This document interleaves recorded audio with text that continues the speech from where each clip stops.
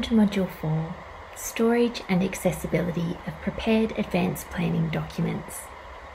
In this module, we will explore three key messages. Where should documents be stored? Who should documents be shared with? And what resources are available? Key message 1 states advanced personal planning documents should always be accessible when they are needed. If you have prepared advanced personal planning documents, it is important to make sure they can be found easily when needed.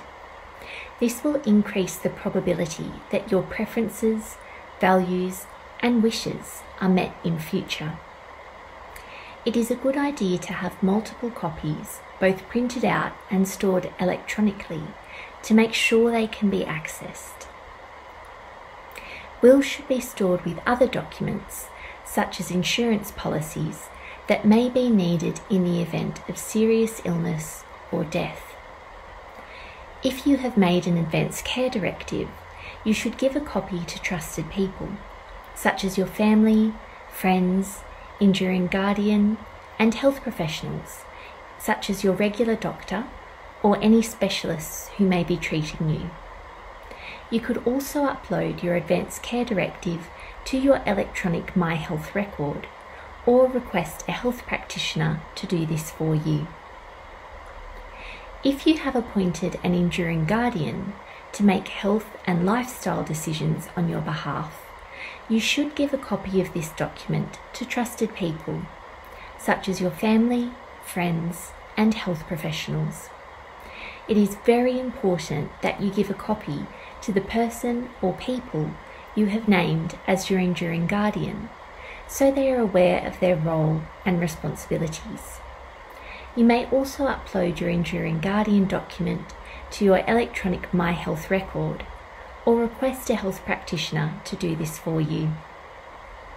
If you have appointed an enduring power of attorney to make decisions about your money and property, you should give a copy of this document to trusted people, such as your family, friends, and your lawyer.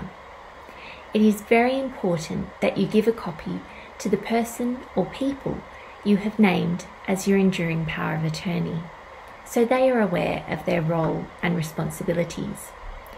You should also give a copy of the document to your bank or other financial institution.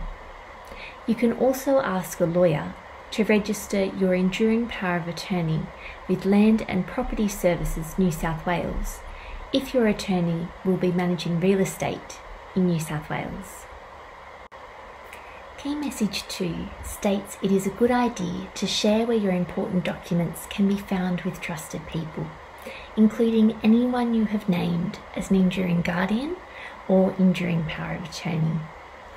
Keeping all your advanced personal planning documents in a folder in a safe place at home means it can be found quickly and easily in case of an emergency, so they can be transported to hospital or appointments with you. It is important that you share the location of this folder with people close to you and any emergency healthcare professionals or others who may be involved in your care.